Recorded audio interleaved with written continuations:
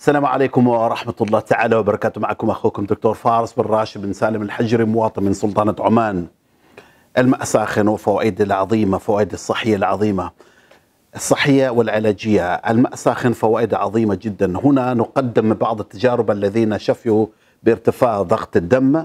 من خلال العلاج بالماء الساخن لأنه يؤدي إلى توسع الاوعيه الدموية ما يسمى بالإنجليزي فاسوديليشن وبالتالي بالمقابل يساعد على تسريع الدوره الدموية وبالتالي يساعد الأنزيمات في كسر أي من تلك المواد المتراكمة على اللي هي الدهون في داخل كطبقة داخل الأوعية الدموية. وبالمقابل إنتاج الطاقة للخلايا والتخ... وبالتالي تذويب الدهون والتخلص من الطبقه الكوليسترول هي التي بداخل الأوعية الدموية المسببة لارتفاع ضغط الدم. وبالتالي لذلك يساعد يساعد في عملية تخفيف لضغط الدم وبالتالي انه يساعد في ضبط ضغط الدم.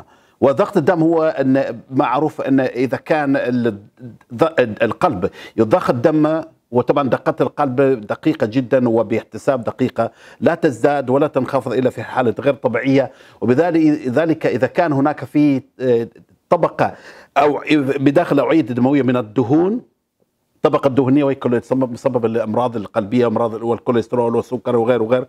وبالتالي يؤدي إلى الضغط على القلب وفي عملية ضخ الدم.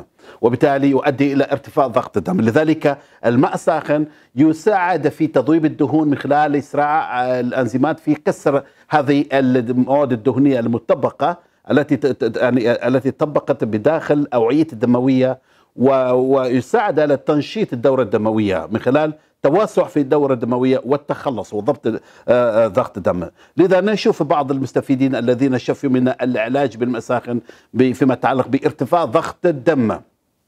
شفاء فنان كندي من ارتفاع ضغط الدم خلال أسبوعين. ماذا قال الفنان الكندية عزيزي الدكتور فارس تهانينا على عضويتك تم انحكا أردت أن أخبارك بأنني ذهبت إلى المستشفى؟ أمس لمناقشة نتائج فحص الدم. كنت قد بدأت بالفعل شرب الماء ساخن في الصباح لمدة أسبوعين.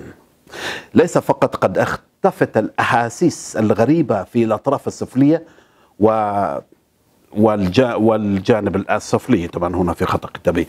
ولكن الطبيب قال أن الدورة الدموية عندي عادت إلى طبيعتها. أيضا للمرة الأولى للمرة الأولى. منذ سنوات أصبح ضغط الدم طبيعي أيضا منذ سنوات لقد توقفت عن تناول دواء الضغط ضغط الدم. لذلك سعيد مع النتائج. مهم أن تعرف بأنني غيرت نظامي الغذائي أيضا. أوه نعم. عندما ذكرت لطبيب يقول الفنان الكندي طبيب مع سنوات عديدة من التدريب في الولايات المتحدة أستخدم العلاج بالماء الساخن فهو يعرف كل شيء عن العلاج الخاص بك وشجعني على مواصلة متابعته ولكن بشكل أكمل وأوجز لي البرنامج على الفور. أخبار جيدة جدا. الحالة رقم اثنين انخفاض ضغط الدم والشفاء من الصداع.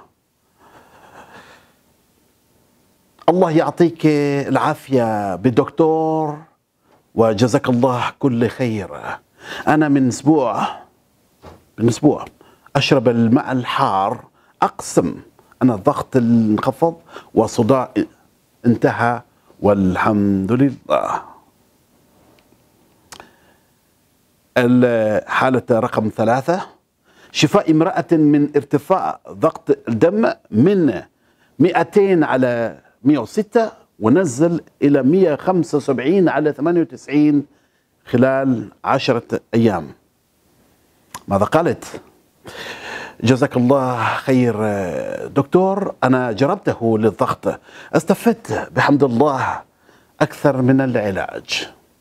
كان الضغط قبل العلاج يصل إلى 200 على 106 وبعد العلاج 175 على 98 أقسم بالله أني على هذا الحال من السنتين بعد إنجابي طفلي الأخير وعندما سمعت عن تجربة مواطن إماراتي قمت بالبحث عن فوائد الماء الساخن وأغلب المقاطع التي كنت أستمع لها لك دكتور.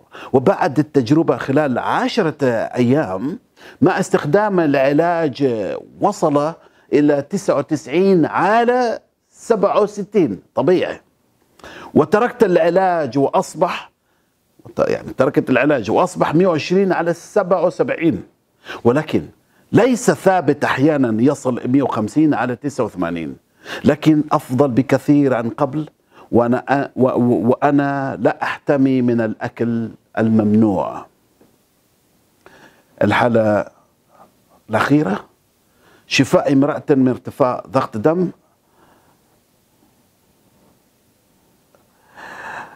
السلام عليكم دكتور. لقد كان لي ضغط الدموي طبعا نحن ننقل الكلمات بغض النظر سواء وجود أخطاء لغوية كتابية ولا شيء. ننقل بالضبط كما ورد. وطبعا أيضا ثقافات مختلفة وطريقة كتابة تختلف. نحن ننقل الكلمات كما هي.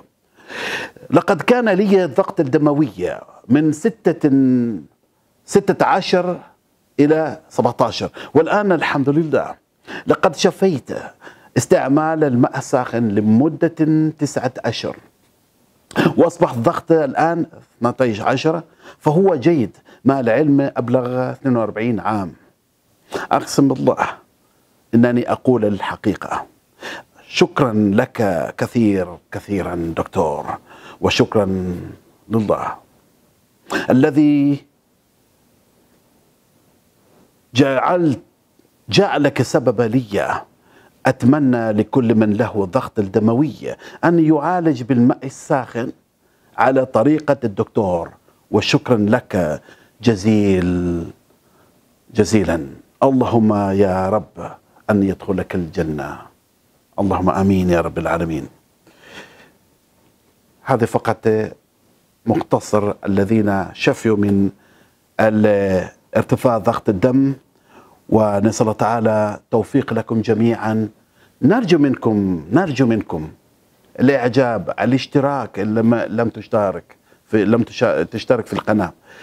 نشر المقاطع نشر القناة وتقديم تجربتك في القناة أو حتى عن طريق الواتساب أو أي وسائل أخرى التي نحن نستخدمها عدة وسائل اجتماعية أو حتى البريد الالكترونيه نسأل الله تعالى توفيق لكم جميعا. وإن شاء الله نرى عالم ينعم بحياة صحية شاملة بدون معاناة من ارتفاع ضغط الدم وأمراض أخرى وجوانب الصحية الاربعه جميعها الجسدية العقلية الروحية والعاطفية.